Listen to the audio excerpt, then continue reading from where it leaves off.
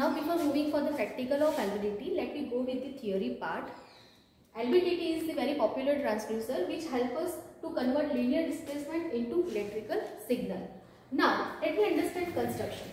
First thing, one primary it will have and two secondary. So it is one kind of transformer but having the somewhat change one primary and two secondary. Same thing is uh, given in the construction form also.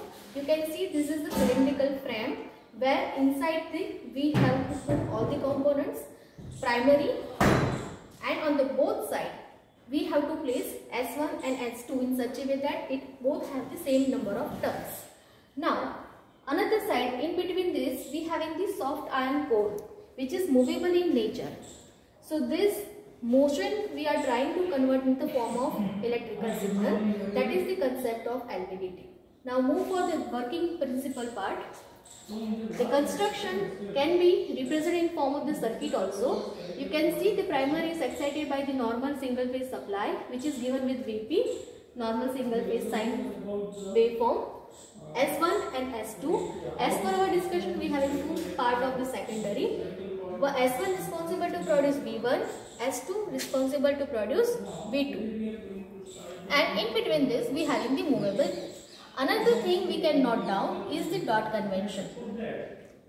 This is another special characteristic of. The both secondary are wound in such a way that the dot convention show that V1 and V2 will be opposed each other. That's why we will get resultant voltage as a V1 minus V2 or we can say that because of that concept it is like a differential transformer. Now V1 and V2, this both voltage will be of course as per the Faraday law will follow the d phi by dt relationship. Now here dt means what?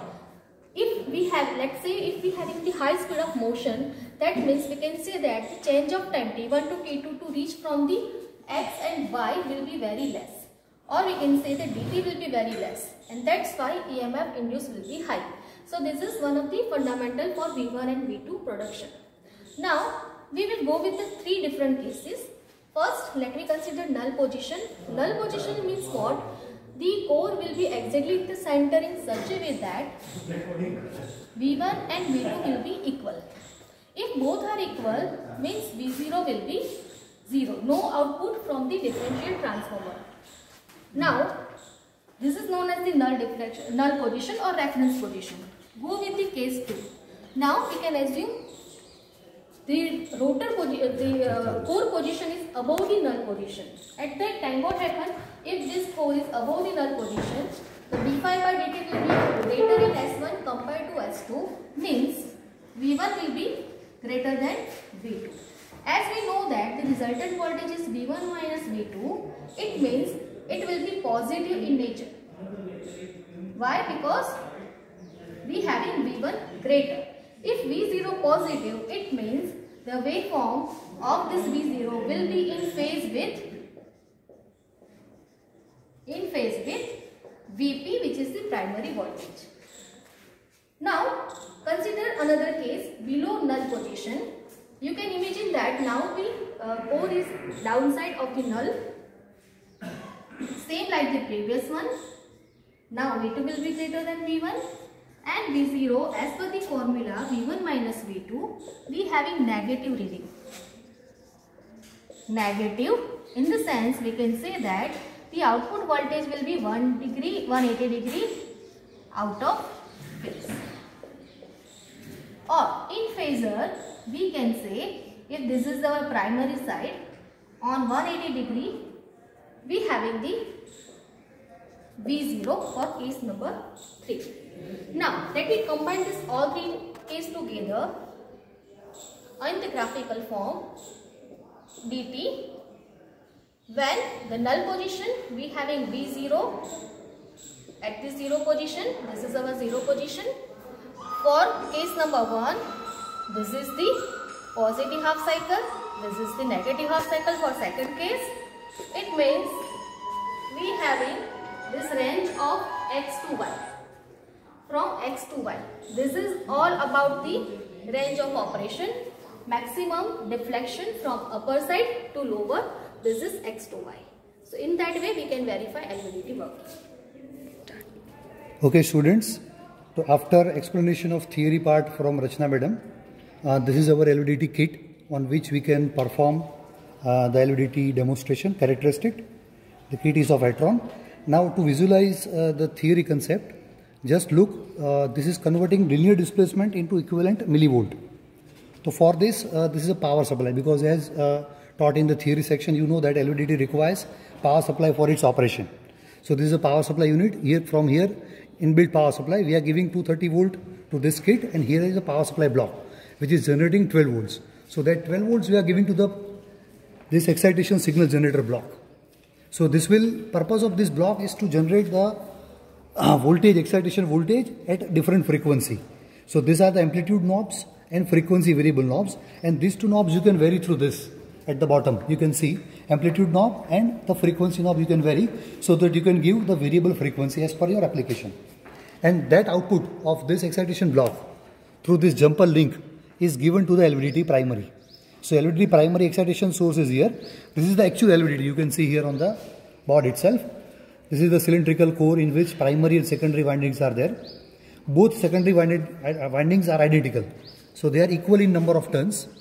Right the number of turns are equal symmetrically placed with respect to the primary.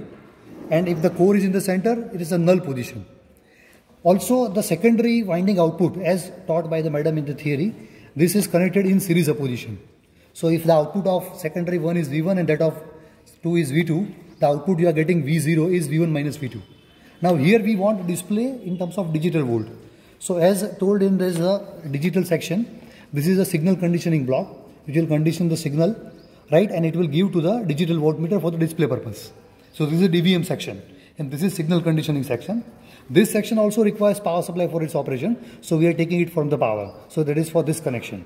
And right now you can see there is a reading of the voltmeter. It is near to zero. Now in order to move the core, this is in millivolt, remember 0.3 millivolt, will make it zero also. Now look at this section. This is LVDT structure inside and this is the movable core. Through movement of this, you can change the displacement. You look at when you press or rotate on a clockwise direction, this movable core goes inside. Right. Now if you want a zero position, null position, I am adjusting and we check it is almost near 10 mm, the voltage is zero. So in this case you can tell that this movable core is at the center. So that the equal amount of flux will link with both the secondary windings. And both secondary windings are identical in number of turns so they are generating the same amount of voltage and differential voltage is zero. Now suppose the you are measuring pressure. So that pressure you are giving to pressure below pressure below will convert that pressure into displacement linear. And that linear displacement you are giving here. So now this is above the null position as explained by the madam case 1 so we are moving this. So you can that as you move suppose i am moving from 10 to now this is 11 mm so it is 0.25 millivolt. 10 mm was 0 millivolt, 11 is 0.25. Like that, linear variation you will observe. When you will go and move this further, this is almost you can say 12. So again it is almost double, 0.54 millivolt. So on both the sides you can take the reading. So as told in the theory, LVDT can convert few displacement of few mm or few centimeter into millivolts. It is not for the higher measurement. And on the other side, below null position, you can go that this is a zero position. Again I am going to 10 mm and now when you go below position that means now the core will move towards the secondary coil 2 so you will have the voltage in negative right so this is that portion. There there also you have the same amount of variation. So the graph is linear on both the sides. The main advantage of LVDT is it is a linear variation with a displacement and that is the advantage over a working range huh? you cannot go for say measurement of few feet or few meters. It is only for few centimeters and mm only. Right so this is the demonstration of LVDT kit. When you will come to the institute we'll perform the practical on this uh, kit by yourself only. This is for the demo purpose. Thank you